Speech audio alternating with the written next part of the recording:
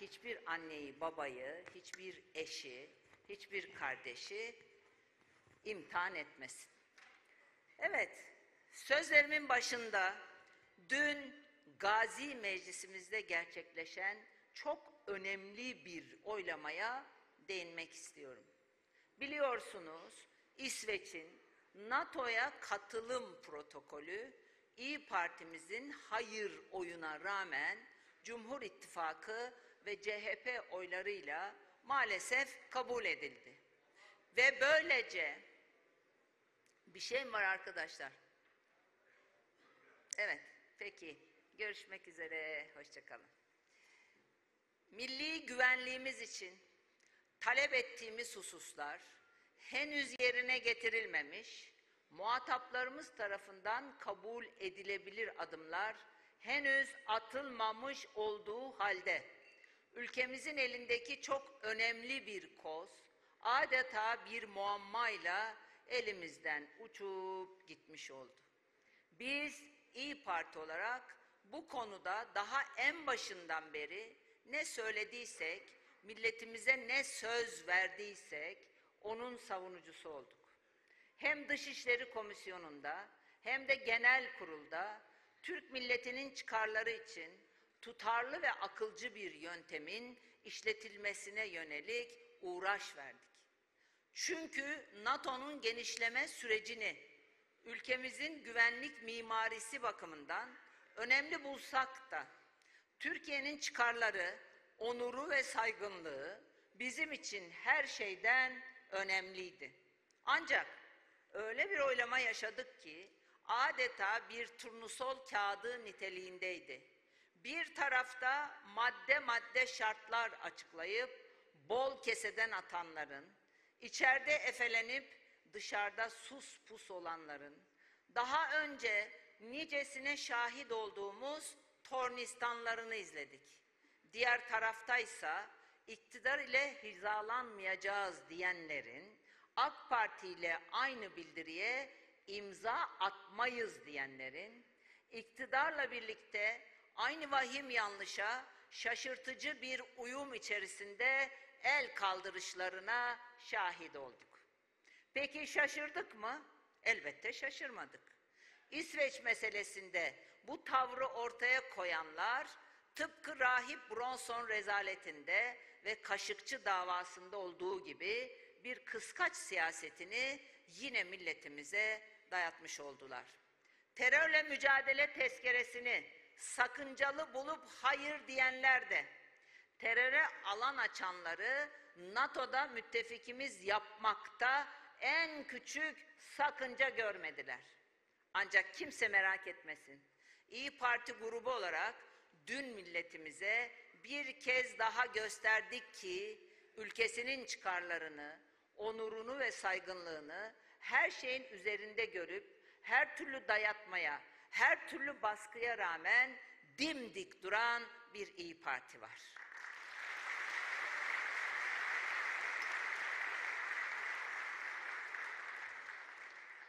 Türk milletinin meclisinde onun sesi ve sözü olmaya and içmiş, Türkiye'nin iyi ve cesur evlatları var.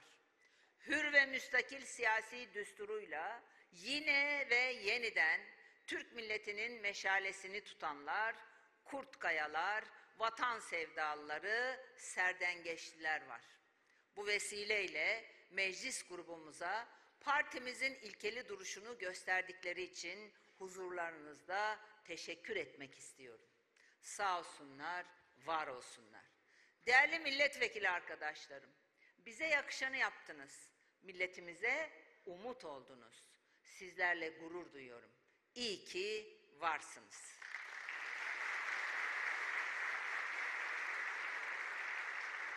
Aziz milletim, uzunca bir zamandır ülkemizin en önemli sorunlarından biri maalesef milletimizin gerçek gündeminin konuşulmaması.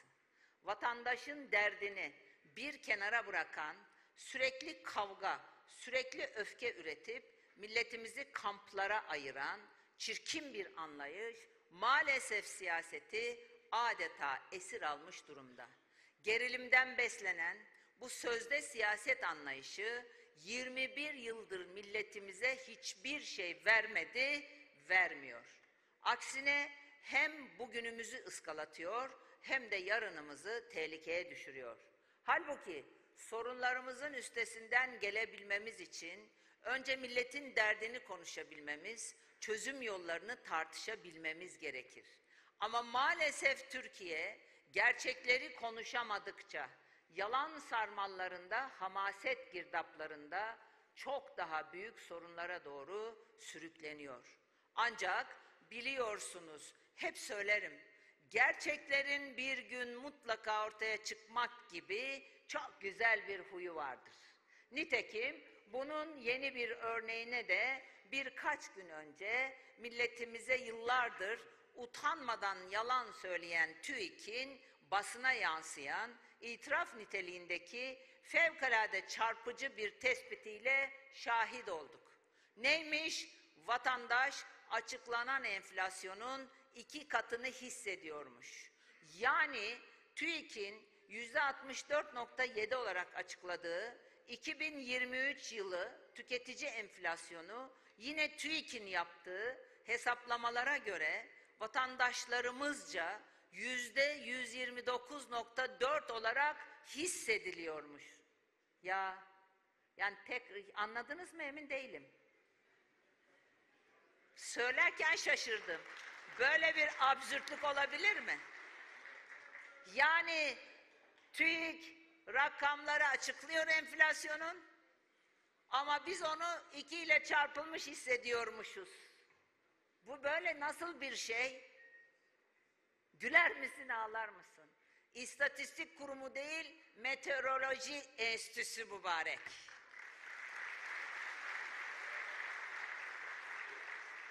Üstelik aradaki farkın sebebi de böyle ciddiyetsiz bir tespitten beklenenin aksine Balkanlardan gelen yüksek enflasyon dalgası veya döviz kurlarındaki yüksek nem oranı değil, tüketim alışkanlıkları ve harcama kalıplarıymış. Ya görüyor musunuz? Aramızda profesör, matematikçi, efendim ekonomist insanlarımız var. Yani bilim insanlarımız var. Yani ben bunu anlamadım. Siz anladınız mı? Yani TÜİK'e göre sorun 85 milyon olarak bizzat bizlerdeymiş. Sorun TÜİK'in uydurma rakamlarında değil, bizim tüketim anlayış, alışkanlıklarımızdaymış. Sorun iktidarın yanlış ekonomi politikalarında değil, bizim harcama kalıplarında, kalıplarımızdaymış. İşte size Türkiye'nin en önemli kurumlarından birinin AK Parti iktidarında düşürüldüğü ibretlik durum. Yahu insana sormazlar mı? Madem milletin hissettiği enflasyonu açıklamıyorsun, o zaman kimin enflasyonunu açıklıyorsun? Madem verilerini milletin alışkanlıklarına bağlıyorsun, madem rakamları gerçeklere göre belirlemiyorsun, o zaman kimin alışkanlıklarına göre belirliyorsun kardeşim? Madem Türkiye Cumhuriyeti Devleti'nin resmi bir kurumu olarak hesabını Türk milletine göre yapmıyorsun, o zaman kime göre yapıyorsun? Bari Sadık abiye göre yapsaydınız. Allah aşkına siz bu milletle dalga mı geçiyorsunuz? Kardeşim, insanlarımız demir mi yiyor? Çimento tuğla mı yiyor? Et, süt, yumurta yiyor. Ekmek yiyor, peynir yiyor, sebze yiyor. Tutup da milletin milletin tüketim anlayışlık alışkanlıkları yanlış demek, millete ekmek bulamazsan git tuğla ye demekle aynı şeydir. Bir büyük ciddiyetsizliktir, bir büyük saygısızlıktır. Buradan iktidara sesleniyorum. Hiç suçu vatandaşa atıp işin içinden sıyrılmaya kalkmayın. Makyajlı rakamlarınızı da milletin çarşı pazarına bağlamayın. TÜİK çıkmış bir itirafta bulunmuş. Milletin hissettiği enflasyonun resmi verinin iki katı olduğunu söylemiş. Yani enflasyonun yüzde 64.7 değil, yüzde 129.4 olarak vatandaşa yansıdığını açıklamış. O zaman size düşen muhteremler maaş zamlarını bir an önce güncellemektir. Madem zamları enflasyona göre yaptınız, o zaman buyurun size milletin altında ezildiği gerçek enflasyon yüzde 129.4. Madem milletimizi enflasyona ezdirmedik diye ortalıkta geziyorsunuz, o zaman buyurun size milletin hissettiği gerçek enflasyon. Üstelik biz söylemiyoruz, TÜİK söylüyor. Haydi bakalım hodri meydan. Rahmetli Süleyman Demirel 1987 yılı bütçe görüşmelerinde şöyle söylemişti. Enflasyon Türkiye'nin meselesi enflasyondur. Aşırı enflasyonun bulunduğu her ülkede enflasyon dar gelirlinin aleyhine mi gelişmiştir? Evet gelişmiştir. Bu doğru. Bu doğru ise o zaman Türkiye'de siz hem aşırı enflasyon olacak hem dar gelirli ezilmemiş olacak. Bunları rahmetli Demirel söylüyor. Bana buna Christoph Klomp'un yumurtası derler. Böyle bir şey olmaz. Gençler belki bilmez. Christoph Klomp'un yumurtası demek, yumurta devriliyor ya, altını kırıp üstüne oturtmak demektir gençler. Dolayısıyla siz de yumurtayı kırıp üstüne koyup her şey yolundaymış gibi davranmayın. Yani mübarekler siz Christoph Klomp musunuz? Aziz milletim, 2021 yılından beri memleketimizin dört bir yanına yaptığımız ziyaretlerde karşımıza çıkan, üç yıldır da ısrarla getirdiğimiz acı bir gerçek var. Şayet asgari ücret, adı üstünde asgari ücretse, o zaman nasıl oluyor da asgari ücretin altında emekli maaşı olabiliyor? Tam üç yıldır iktidara bu soruyu soruyoruz. Tam üç yıldır bu garabete bir an önce son verilmesini istiyoruz. Tam üç yıldır emekli maaşlarını asgari ücretle eşitleyin çağrısını yapıyoruz. Ama bu üç yılın sonunda bırakın iktidar tarafından bir adım atılmasını emeklilerimiz için her geçen gün daha da kötüleşen bir tabloyla karşı karşıyayız. 2002 yılında en düşük emekli maaşı asgari ücretin 1.3 katı iken bugün %60'ın altına düştü. %60'a düştü. 10 yüzde 60'ın altına düştü. 10 yıl önce asgari ücret 850 lirayken en düşük emekli maaşı 1050 liraydı. Bugün ise asgari ücret 17 bin liraya çıktı ama en düşük emekli maaşı 10 bin lirada kaldı. Daha 10 yıl önce asgari ücretin yüzde 24 üzerinde maaş alan emeklilerimiz bugün asgari ücretlinin neredeyse yarısı kadar maaş alıyor. Memlekette açlık sınırı 14.431 lirayı bulmuş. Yoksulluk sınırı 47.009 lira olmuş. İktidar ise en düşük emekli maaşını 10 bin lira yapmakla övünüyor. Gerçekten ibretlik. Geçtiğimiz hafta Sayın Erdoğan ne demişti? 2024 yılı emeklilerin yılı olacak. Belli ki kendisi artık milletten tamamen koptuğu için herkesin çevresindekiler gibi sefa sürdüğünü zannediyor. Ama gerçekler hiç de öyle olmadığı için ben de şimdi buradan kendisini acilen hamaseti bırakıp gerçekliğe dönerek emeklinin gündemine odaklanmaya davet ediyorum. Sayın Erdoğan, emeklilerimizin üzerindeki ağır yükü derhal kaldırın.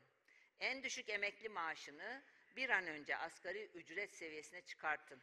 En düşük emekli maaşında yapılan artışlardan tüm emeklilerimizin faydalanmasını sağlayın.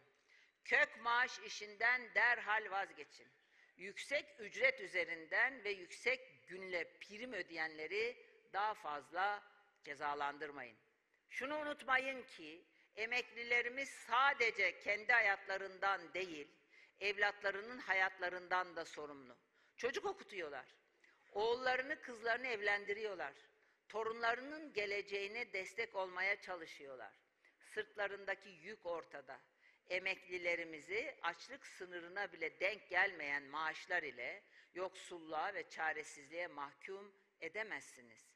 Yandaşınız üç kuruş zarar etti diye dünyaları yerinden oynatırken milletimizi geçin sıkıntısıyla, borçlarla bir başına bırakamazsınız.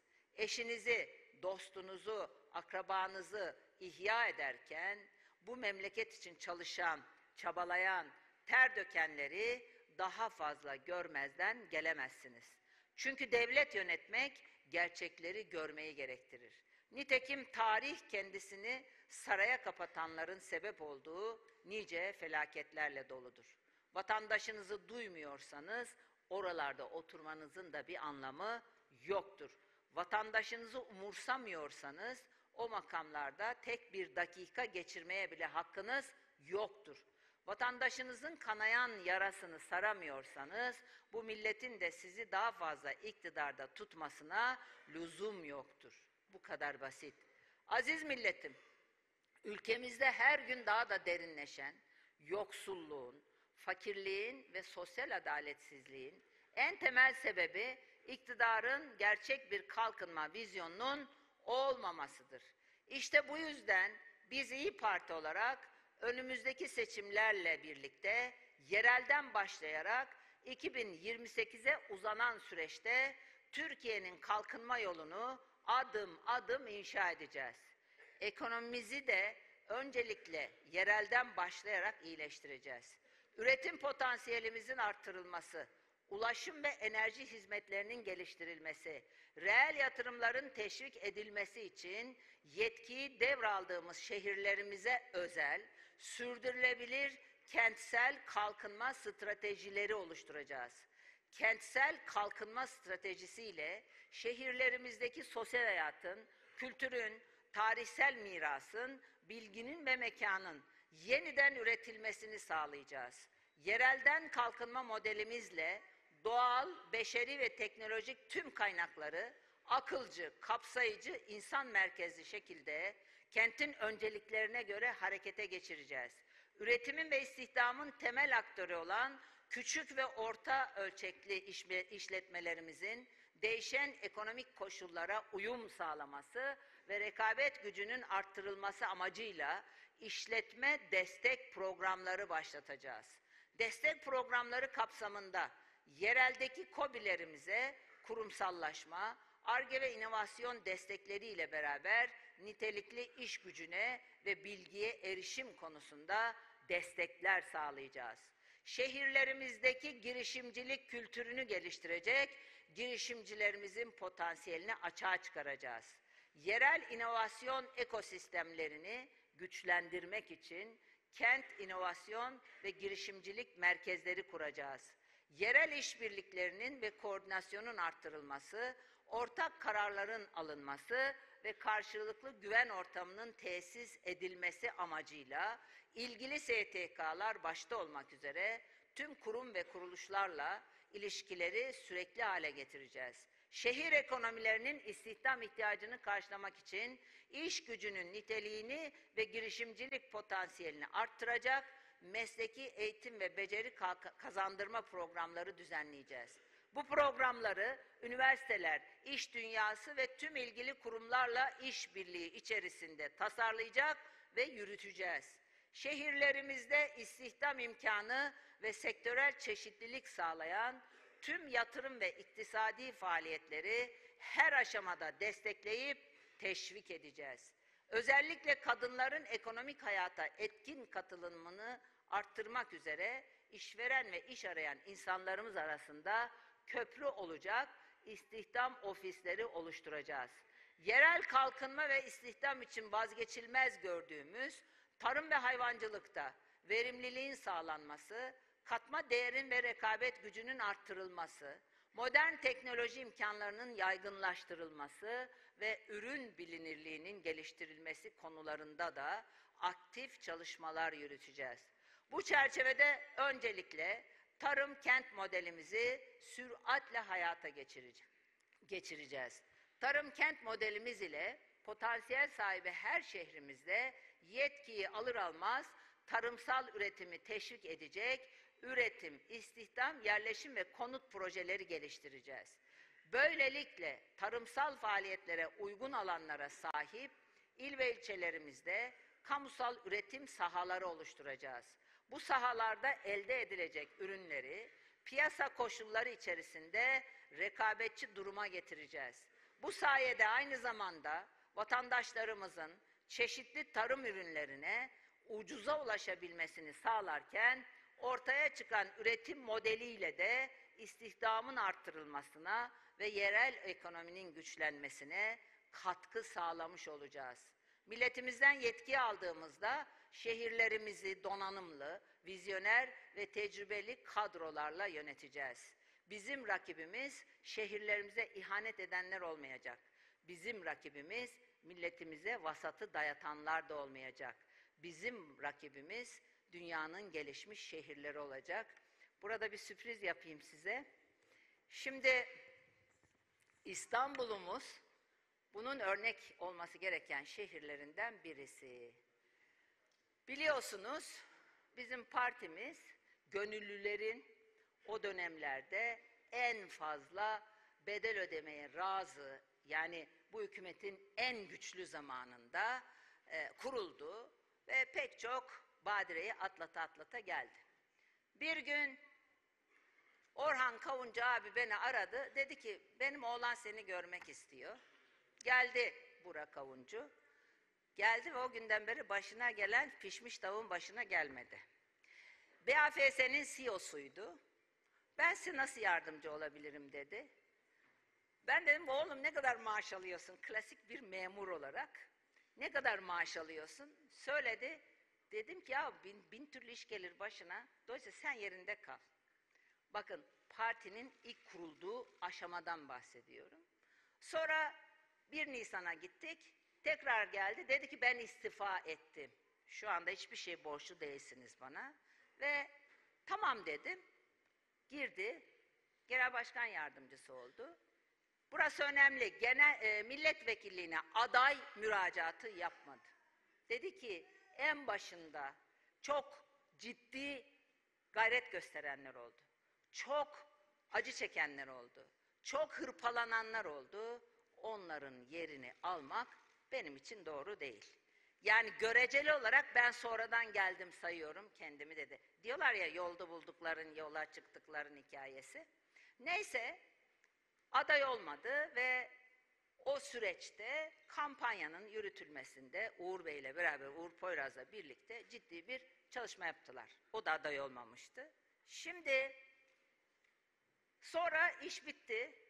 Yani seçim bitti. 2018 bitti. Genel Başkan Yardımcısı ben dedim ki hadi bakalım marş marş şeye gidiyorsun. İstanbul'a gidiyorsun. Ersin Beyaz aramızda mı? Ha pardon özür dilerim. Ersin il başkanı. Bu, bu, bunu anlatmak durumundayım. Bizim partimiz bu işte. Ersin'e dedim ki o arada ben kafam attı Afyon'dan gitmeye kalkıştım falan onları biliyorsunuz. Dolayısıyla ama artık sabrım önde. Kayınvalidemin dediğini yapacağım.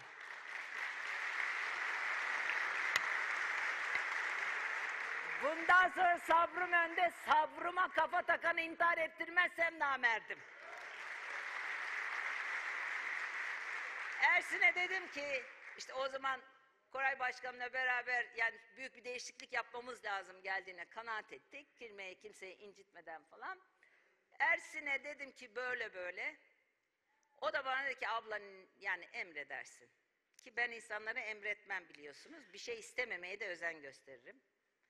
Ve sonuç itibariyle çok güzel bir devir teslim yaptılar. Bugün de birlikte çalışıyorlar. Neyse Burak Kavuncu ondan sonra işte il başkanlığı yaptı. 2019'da belediye seçimlerinde o organizasyonu o, yaptı.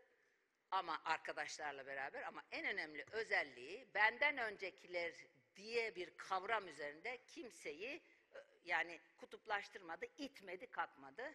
Hatta benim sinirimi bozacak kadar herkesle iyi geçirmeye gayret eden bir arkadaşımız. Yani zaman zaman asabımı bozacak kadar. Herkes hakkında iyi konuşuyor. Şimdi o zaman bana demişti ki benim bon servisimiz benim bon servisim sizde. Ve ben bon servisini bana verenleri zorlu yerlere asla göndermem. Orada yer değiştirmiş oluyoruz. Ama bu İstanbul'la ilgili habire bir şeyler üretiliyor. Öyle oluyor, böyle oluyor. Burak Avuncu bana geldi dedi ki genel başkanım ben İstanbul'u istiyorum. Almak için istiyorum. Başarmak için istiyorum. Orayı yönetmek için istiyorum. Şimdi elbette İstanbul'da lansman yapacağız. O başka bir şey. Ama bunu anlatmak istedim. Bir mecburiyet, bir kişiyi bulamama, herhangi bir aday yokluğundan ziyade Burak Kavuncu geldi, ben orada il başkanlığı yaptım dedi. Dolayısıyla şimdi de teşkilat başkanıyım dedi. Bana düşer dedi ve sonuç itibariyle ben adayım, ben istiyorum dedi. Ben de peki dedim. Dolayısıyla İstanbul Büyükşehir Belediye Başkan adayımız Burak Avuncu. Gel bakayım.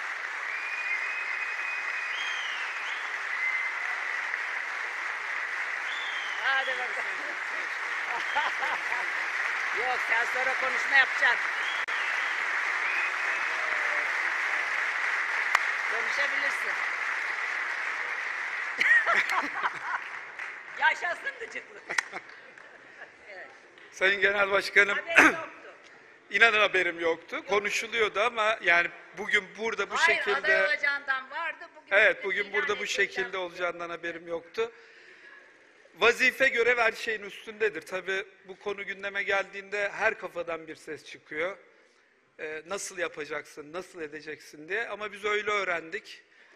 Bir görev düştüğünde bugün partimiz için, yarın da ülke görev, ülke için görev düştüğünde ülkemiz için en zoru sırtlanmak zorunda olduğumuzun şuuruyla yetiştik. O günler geldiğinde dostluklar, vefalar, birilerine olan vefalar bunların hepsi rafa kalkar. Söz konusu milletse, devletse gerisi teferruattır. Allah yolumuzu açık etsin.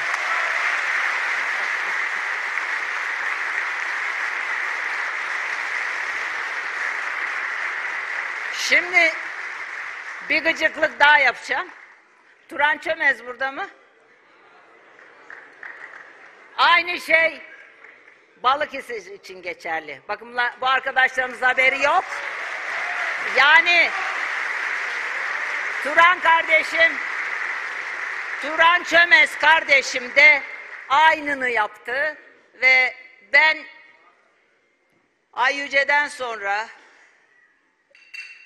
Ümit Özlale'den sonra ve Selçuk e, Türkoğlu'ndan sonra milletvekillerimizi şehirlerde aday yapmayı istemiyordum. Gerçekten istemiyordum. Ama e, Burak Avuncu özellikle anlattım. Aynı şey, hatta şöyle oldu, ben yeni katıldım. Hani buraya aday olmam ayıp olur mu diyen bir Turhan Çömez'le karşılaştım. Alacağına inanan Balıkesir'i, yani şu anda 1, 2, 3, 4, 5 milletvekilinden alıyoruz ha. Ee, alacağına inanan, belediye başkanlığı görevini de layıkıyla sürdüreceğine bizim inandığımız bir arkadaşımız da Balıkesir Büyükşehir Belediye Başkanlığı'nı kendi talep etti. Şimdi bir şey daha var. Sincan'da da Fatih Koca'yı ayağa. Dur orada, dur orada. Fatih Koca'ya ben talimat verdim. O çünkü bana dedi ki Şırnak'ta Şırnak'a gideyim, Hakkari'de Hakkari'ye gideyim. Neresini istiyorsan oraya gideyim. Ben de dedim ki Sincan'a gidiyorsun ve Sincan'ı alıyorsun. Evet Fatih Koca da Sincan Belediye Başkan adayımız. Çalışmalarına başla. Evet. İyi belediyeciliği herkese göstereceğiz inşallah.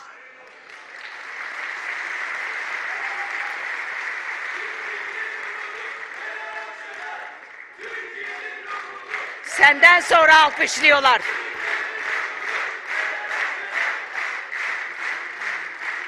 Evet, Allah bin kere razı olsun.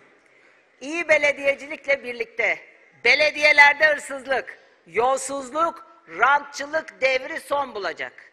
Onun yerine tarımda, sanayide, kalkınmada iyi belediyecilik modeli konuşulacak. Eğitimde, sağlıkta iyi belediyecilik modeli konuşulacak. Şehircilikte, ulaşımda iyi belediyecilik modeli konuşulacak.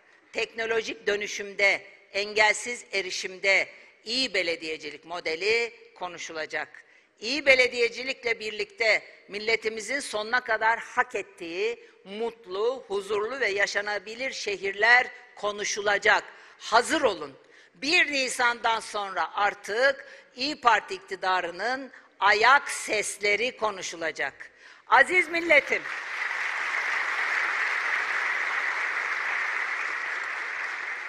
Aziz milletim, Gazi Mustafa Kemal Atatürk'ümüz der ki, zengin hatıra mirasına sahip bulunan, beraber yaşamak konusunda ortak arzu ve olurda samimi olan, sahip olunan mirasın korunmasında, beraber devam hususunda, iradeleri ortak olan insanların meydana getirdiği cemiyete millet adı verilir. Bu tarif Atatürk'ümüze aittir. Ve Cumhuriyet'in kuruluş esası budur. Bu sözün arkasında Cumhuriyetimizi yüz yıllık zulüm olarak görenlerin, kurucu değerlerimize alerji duyanların ve bölücü ajandalarını demokrasi hamasetiyle örtmeye çalışanların söylediklerinin aksine ne ayrımcılık, ne ırkçılık, ne de kutuplaştırma vardır. Bu sözün arkasında ortak vicdanımız, ortak değerlerimiz, ortak hatıralarımız vardır. Bu sözün arkasında acıda ve sevinçte ortaklık, birlik ve dayanışma ruhu vardır.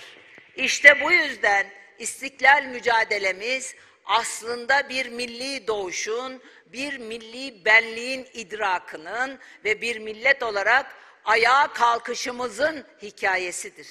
Ancak ne yazık ki milliyetçiliğimizden gaflet edişin acısını çok gördük. Bu da Atatürk'ün sözüdür. Kabahatimiz kendimizi unutmamızmış. Sözleriyle milli muhasebemize ışık tutan Atatürk'ümüzü bugünlerde çok daha iyi anlıyoruz. Çünkü maalesef bugün yine tam olarak aynı kabahatin eşiğindeyiz. Birileri yine kim olduğumuzu unutalım istiyor. Birileri yine yan yana, omuz omuza durmayalım istiyor. Birileri yine ortak duygularımızda buluşmayalım istiyor. Soruyorum sizlere, en son hangi acımızda milletçe hep birlikte üzülebildik? Bakın yaklaşık bir yıl önce 6 Şubat depremlerinde büyük bir felaket yaşadık. Binlerce vatandaşımızı kaybettik. Ama canımızın acısı bile siyasi çıkarcıları durduramadı. Hak aramayı nefret saçmak zannedenlerle, hakkı konuşmayı kürsülerden bağırmak zannedenler arasında millet olarak acımızı bile ortak yaşayamadık. Yine ayrıştırıldık, yine uzaklaştırıldık, yine kutuplaştırıldık. Daha geçtiğimiz ay tam 21 şehit verdik. Evlere, ocaklara ateş düştü.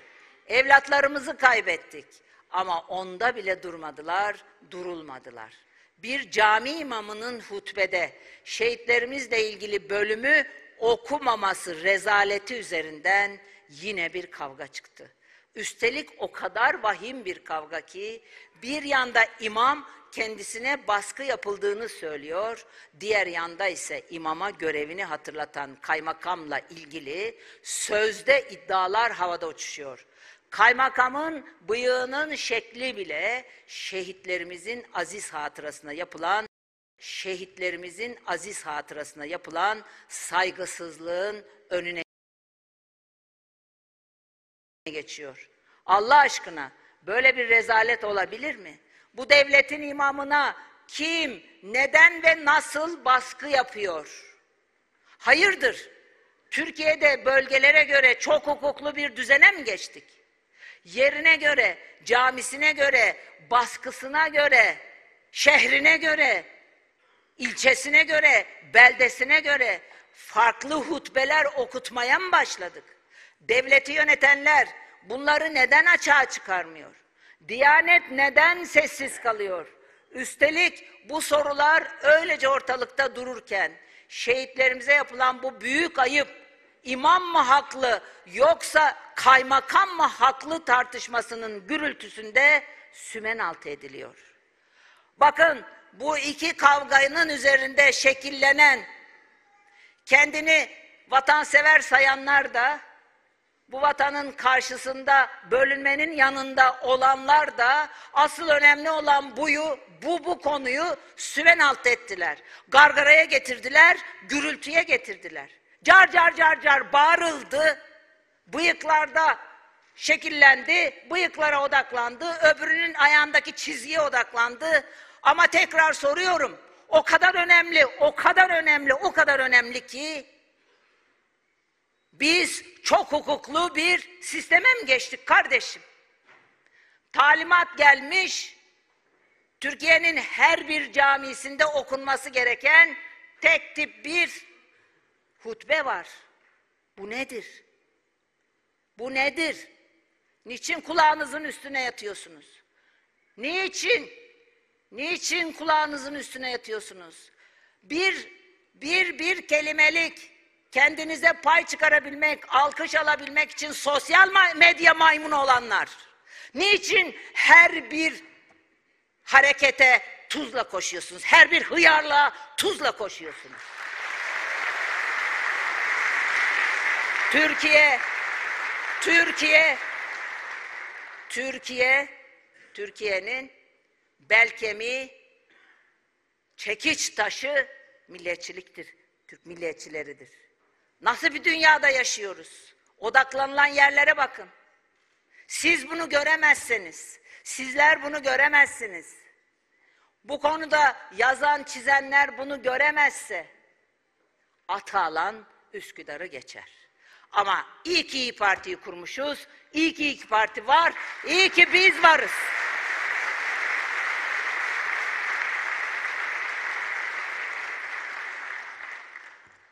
Yani kendimi işgal edilmiş İstanbul'daki kafası karışık insanların arasında hissediyorum. Bir kısmı işgal güçleriyle el sıkışan, bir kısmı ise canını canını ortaya koyarak malını, mülkünü, imkanını koyup Ankara'ya, Anadolu'ya silah kaçırmaya gayret eden insanların bulunduğu İstanbul. Eğer onlar olmasaydı bugün burası olmazdı. Eğer herkes meşhur olma hevesine kapılmış olsaydı İngilizlerle, Fransızlarla davetler verip dans ediyor olsalardı bugün burada bu kürsüden ben konuşamazdım. Siz burada oturamazdınız. Fedakarlıklar üzerine kurulmuş Türkiye Cumhuriyeti Devleti'dir. Ve bu iradeyi gösterenlere bu tartışma tekrar söylüyorum. Bu tartışma yapılan en büyük hakarettir. En büyük ihanettir. Ne demek? Ne demek? Ne demek? Kaymakam, imam. Yapılan iş ne? Yapılan iş ne? Şehitlerimizin anmasının, onlara Fatiha okunmasının, onlara hayır dua edilmesinin söylenmemesi. Çok ilginç geldi. Bir haftadır izliyorum. Bir haftadır izliyorum. Ve ve hiç böyle olmaz. Böyle olamaz. Böyle gerçekten olamaz. Fatih sen ve senin gibilere çok güveniyorum oğlum. Bunlara uyanık olacaksınız. Bunlara dikkat edeceksiniz. Bedava sosyal medya maymunluğundan da kaçınacaksınız. Üç tane beğeni kasmak uğruna saçma salak şeylerle yazıktır, günahtır bu ülkeye yazıktır. Böyle bir şey olabilir mi? Şehitlerimize yazık. En başından bugüne kadar. Ve böyle büyük bir basiretsizliğin hüküm sürdüğü bu tab bir tabloda da millet olarak acımızı bile yaşayamıyoruz, yaşatamıyorlar. Peki hatırlıyor musunuz? En son hangi olayda hep birlikte sevinebildik? Mesela geçtiğimiz yıl filenin sultanları dünya şampiyonu oldu. Normal şartlar altında bu başarının Türk milletinin 85 milyon her bir ferdi için büyük bir gurur, büyük bir mutluluk, büyük bir sevinç olması gerekirdi değil mi? Ama ne oldu? Türk kadınının gösterdiği büyük başarı yerine formasının boyunu konuşanlar oldu. Türk kadının başarısından intikam üretenler oldu. Bir milli başarı millet olarak ortak bir sevinç konusu olmak yerine toplumun bir kesiminin bir diğerine meydan okuma alanına dönüştü. Yine benzer şekilde TOG'umuz, İHA'larımız, SİHA'larımız aslında hepimizin ortak gururu, hepimizin ortak sevinci olmalıydı. Ama burada bile ayrıştırıldık. Bu sefer de atılan yerli, yerli teknoloji adımları toplumun bir kesiminin bir diğerine meydan okuma alanına dönüştü. İşte bu karşılıklı meydan okumalarla ortak sevinçlerimiz, ortak acılarımız, ortak değerlerimiz her geçen gün daha da tahrip ediliyor. Bir tarafta iktidarı destekleyen, diğer tarafta da muhalefeti destekleyen sözde düşünürlerin, kanaat önderlerinin, siyasi elitlerin kayıkçı kavgalarıyla birbirini besleyip büyüttüğü, sonunda da milletimizin kaybettiği bu kutuplaşma, ayrışma ve kavga ortamı millet olma irademize de maalesef her geçen gün zarar veriyor. Nitekim geçtiğimiz haftada yine benzer bir tabloyla karşı karşıya kaldık. Biliyorsunuz 19 Ocak gecesi Cumhuriyet tarihimizde bir ilk yaşandı. Astronot, astronotumuz Alper Gezer Avcı uzaya çıkan ilk Türk oldu. Cumhuriyetimizin 100. yılında yaşanan bu güzel gelişme aslında her Türk'ün mutlu olacağı bir gelişmeydi. Şanlı bayrağımızın uluslararası uzay istasyonuna çıkması her Türk'ün gururlanacağı bir tabloydu. Ama maalesef bu konuda bile utanmazca ayrıştırıldık. İlk başta Türkiye Cumhuriyeti Devleti'ni iktidardan ibaret görenlerle, onları küçümseyenler arasında bir garip tartışma başladı. Sonrasında ise astronotumuzun Gazi Mustafa Kemal Atatürk'ümüzü anarak istikbal göklerdedir demesi üzerine üzerinden bu sefer de tersine bir meydan okuma alanı oluşturuldu. Atatürk'ümüze düşman olanlarla kendi tapulu mülkü zannedenlerin bol gürültülü horoz dövüşünün ortasında millet olarak yine bir sevincimizle, bir gururumuzda ortaklaşamadık. Oysa bir yandan gururlanırken bir yandan da tartışılması gereken şeyler yok muydu? Elbette vardı. Ama tartışmamız gereken şey Atatürk değildi. Tartışmamız gereken şey astronotumuzun siyasi tercihleri değildi. Tartışmamız gereken şey milletimize verilen sözlerdi. Hatırlayın daha 2021 yılında Sayın Erdoğan bir söz vermişti. Demişti ki ilk aşamada 2023 yılı sonunda yakın dünya yörüngesinde ateşleyeceğimiz kendi milli ve özgün hibrit roketimizle Ay'a ulaşarak sert iniş gerçekleştireceğiz. 2023 bitti ama Ay'a sert iniş hala yapılamadı. Asıl sorgulanması, asıl tartışılması gereken işte buydu. Yıl oldu 2024 ama biz bir başka ülkenin ticari bir şirketi aracılığıyla bir vatandaşımızı uzaya gönderebildik. İşte bizim asıl tartışmamız gereken bunu kendi imkan ve kabiliyetlerimizle, kendi teknolojimizle neden hala yapamadığımızdır. Bizim asıl tartışmamız gereken küresel rekabetin en önemli merkezlerinden birinde olup da uluslararası rekabet gücümüzü neden hala arttıramadığımızdır. Ve her şeyden önce bizim nasıl tartışmamız gereken şey tüm bunları yapabilecek güçte bir ekonomiye neden hala sahip olamadığımızdır. İşte o nedenle milletçe bizi oyalayıp tüm bunları sormayalım, sorgulamayalım, talep etmeyelim diye konuları bağlamından çıkartıp önümüzde suni tartışma konuları, yeni ayrışma alanları, yeni yün yumakları atanlara karşı İyi Parti olarak bizim görevimiz milli bilincimize yönelen bu tehlikeye ayna tutmaktır. Siyasi rant uğruna Türk milletinin birliğine kasteden bu tehdide kafa tutmaktır. Doğruya doğru eğriye eğri diyerek bu kayıkçı kavgasının tarafı olmamaktır. Çünkü Gazi Mustafa Kemal Atatürk'ümüzden aldığımız ilhamla bizim milliyetçilik anlayışımız milletin tüm fertlerini kederde, kıvançta, tasada ortak kılmaktır. Milli şuur ve ülkeler etrafında bölünmez bütünlüğümüzü savunmaktır. Türk milletini dünya milletleri ailesinin eşit haklara sahip, şerefli ve asil bir üyesi olarak bu, bu cümleyi iki kişi çok inanarak söylemiştir bu ülkede. Birisi Atatürk'ümüz, birisi başbuğumuzdur. Daima yüceltmektir. İşte İyi Parti'nin açtığı yeni yol budur.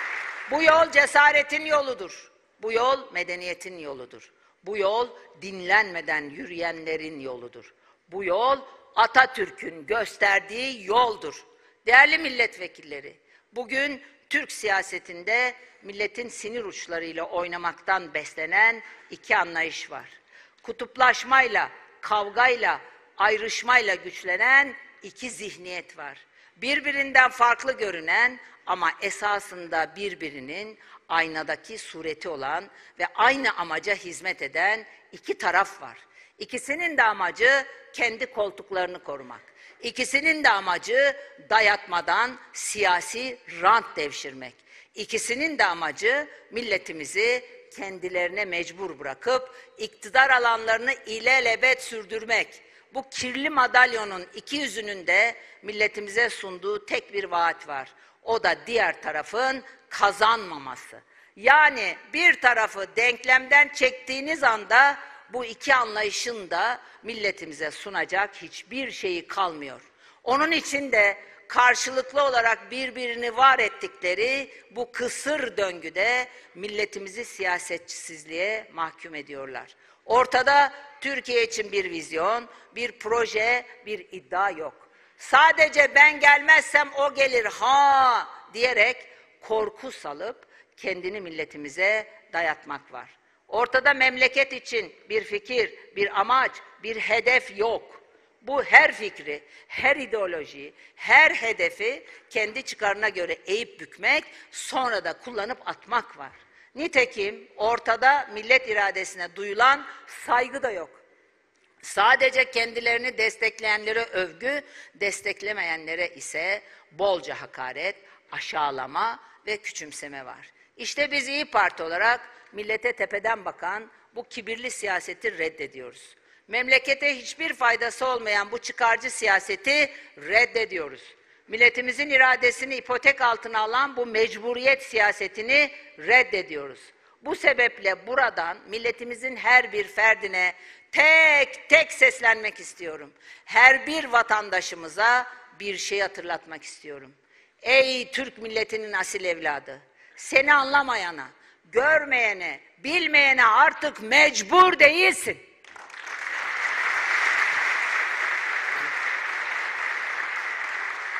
Hayat tarzın üzerinden yargılayana artık mecbur değilsin.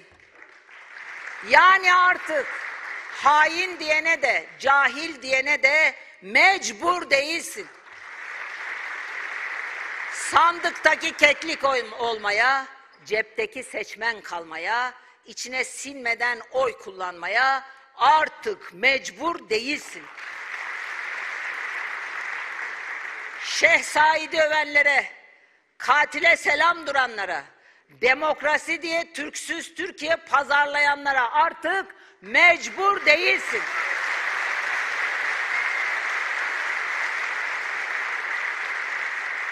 Yani artık Cumhuriyete savaş açana da, teröre alan açana da mecbur değilsin. Sözde kanaat önderlerini, kullanışlı trolleri, bordrolu ekran yorumcularını dinlemeye artık mecbur değilsin. Senin vergilerinle linci, iftirayı, yalanı besleyenlere artık mecbur değilsin. Yani artık yandaş medyaya da yoldaş medyaya da mecbur değilsin. Sesini duymayana, göreve çağırdığında gelmeyene, görevini yapamadığında bile gitmeyene artık mecbur değilsin. Senin derdine değil, şahsi hırsların peşine dökülen timsah gözyaşlarına artık mecbur değilsin. Yani artık tek adam baskısına da eş başkan kavgasına da mecbur değilsin.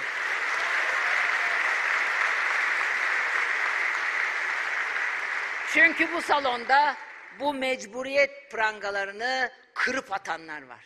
Bu salonda milletimize yönelen tüm dayatmalara meydan okuyanlar var. Bu salonda Türk siyasetinde yepyeni bir yolun mümkün olduğunu gösterenler var. Bu salonda demokratik milli yükselişine yürüyen kadrolar var. Bu salonda güçlü, hür ve müstakil İyi Parti var. Yüce Allah bizleri haktan ve hakikatten ayırmasın. Millet ve memleket yolunda utandırmasın. Gazamız mübarek olsun.